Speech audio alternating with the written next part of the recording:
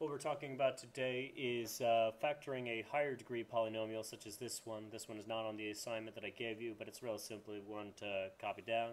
So what we want to do is uh, factor this. We're going to try to start by factoring a GCF. If there's a GCF, it's always the easiest place to start.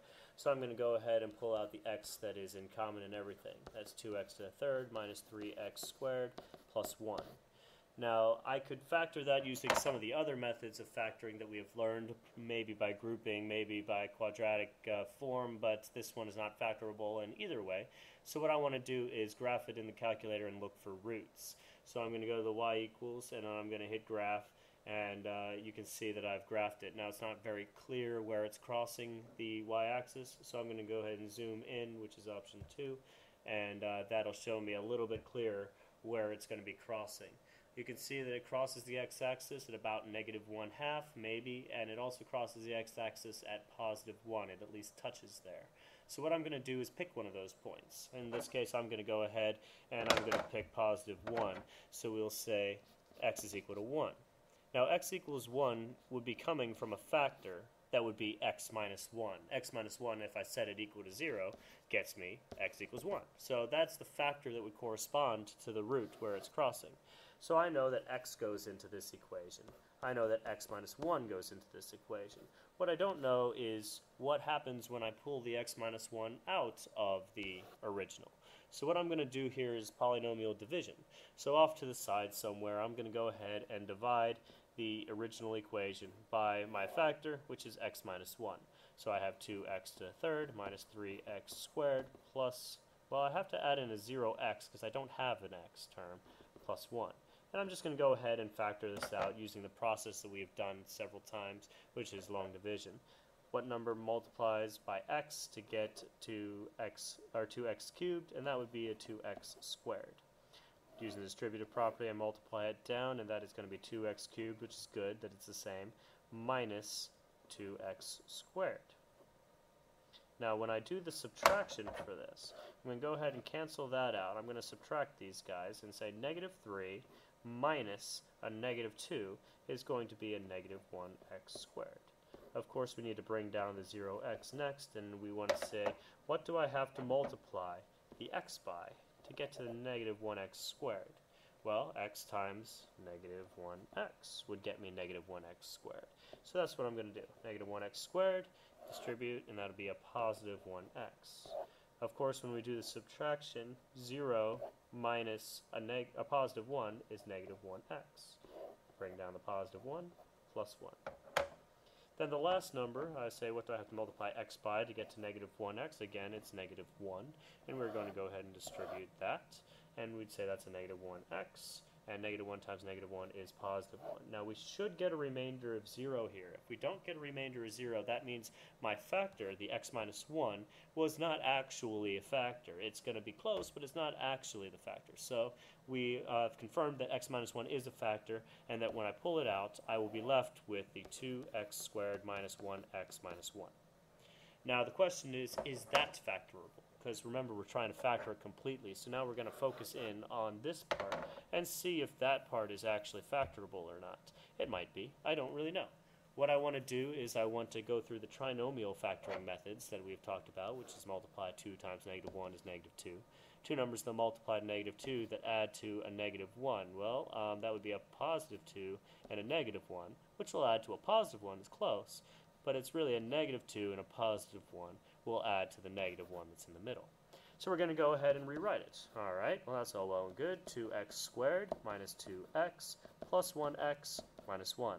And this is a grouping problem, something we've done 100 times. We can group that together. Let's take out the 2 that's in front of those, and there's an x that's in common as well, which will leave me with x minus 1. We also can pull out a positive 1 from the second group, which will leave me with 1x minus 1. Now you see that the leftovers are the same, so grouping worked just great, and we have the fully factored version of the red part to be 2x plus 1 times x minus 1. Of course, we still had the other factors, so there's already another x minus 1, so I'm just going to change this one to a squared, and we have the x that is in front. So the fully factored version of this is y is equal to x times 2x plus 1 times x minus 1 quantity squared. And that would be the solution. Now we want to do another example that's sort of like that. Let's go ahead and do this one. Again, it's not on your paper. It's very similar.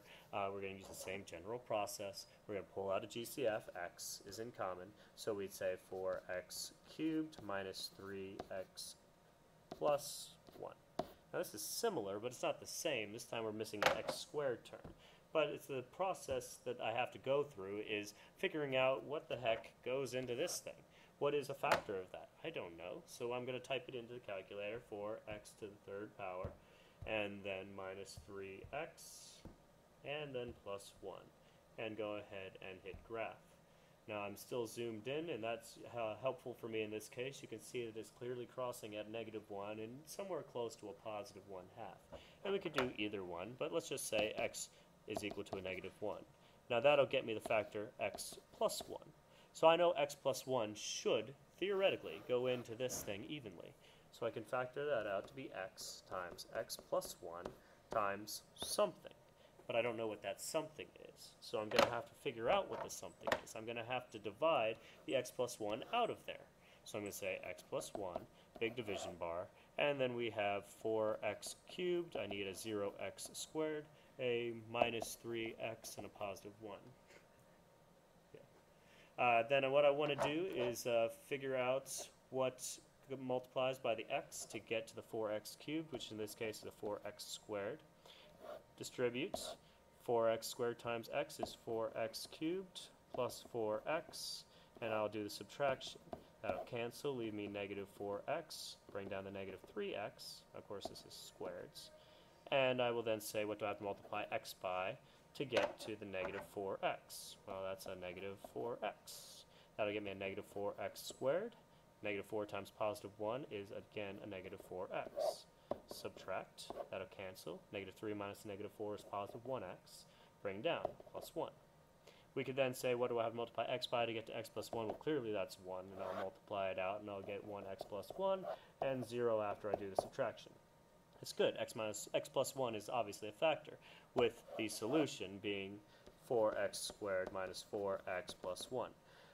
now the question is, is that factorable? Is the leftover part factorable? It's not down to just a linear factor yet, so I should always try. I have to multiply 4 times 1. 4 times 1 is 4. Two numbers that multiply to 4 that add to a negative 4. Well, negative 2 and negative 2 make 4 and negative 4, so yes, this is factorable. I could rewrite it. 4x squared minus 2x minus 2x plus 1, and factor it by grouping.